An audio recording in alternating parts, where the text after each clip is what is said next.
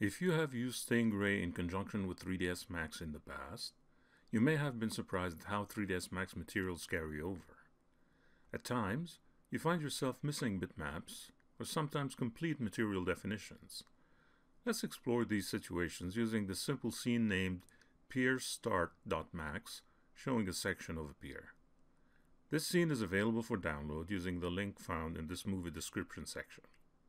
The idea is to prep a scene in 3ds Max so that when exported to Stingray, all transferred materials appear exactly as they should in Stingray.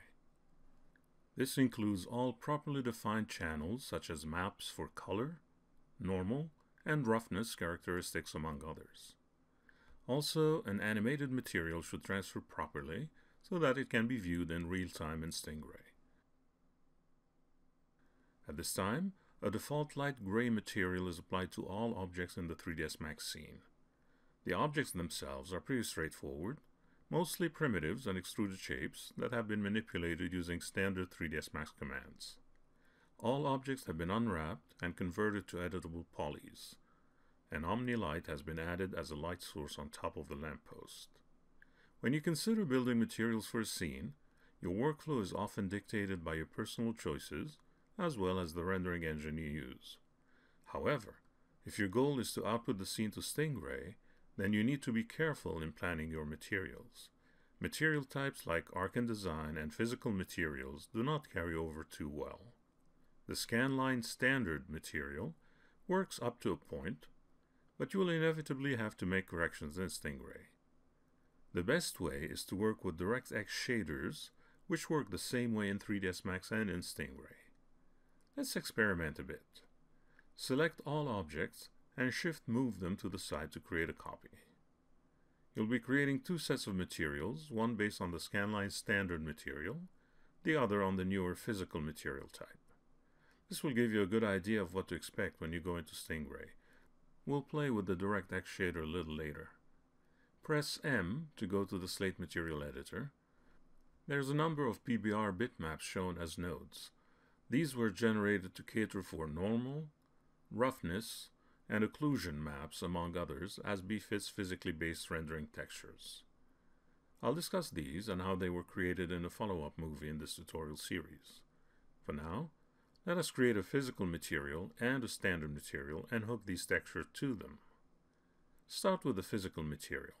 Create a new one in the editor and rename it pier underscore pm PM for physical material. Hook the color image to its base color map and apply it to the first dock. You can also apply it to the lamppost, but not to the globe itself. This requires a different material. You also want to set this material to realistic display in the viewport. That's the second icon in the flyout. Next, drag the normal map's output and add a normal bump map and hook that to the materials bump channel.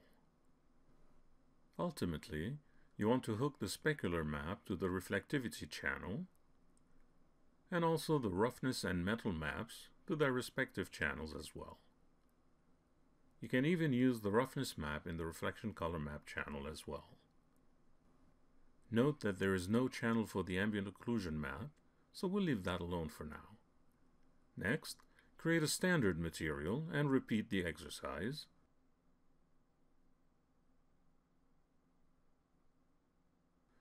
using all textures except the metal and ambient occlusion maps.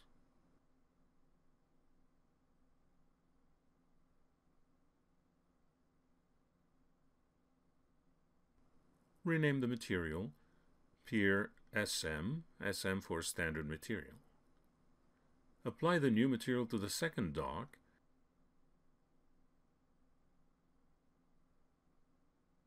and make it visible in the viewport.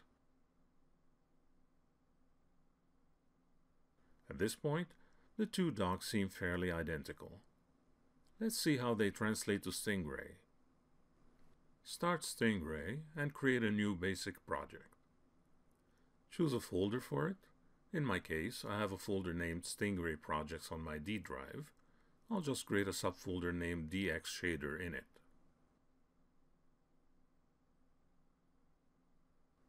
Give your project a name, such as pier test, and place it in your working folder.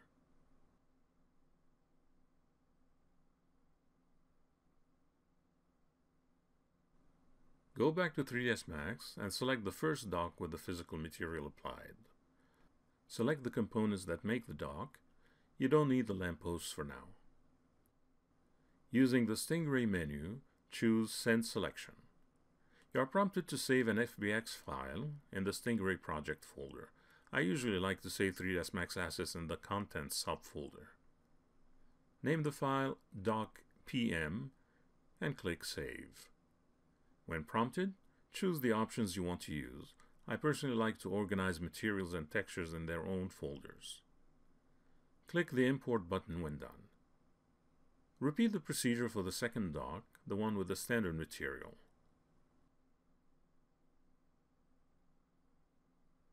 Name it Dock SM.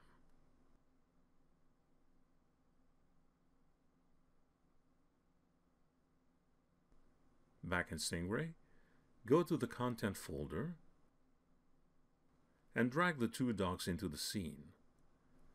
Zero out their positions so they appear in the same spot as they were in 3ds Max.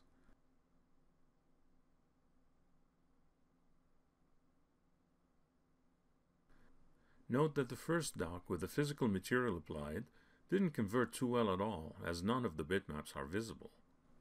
If you select it and go to its material resource, Pier PM, you'll notice that it was converted into a Stingray shader.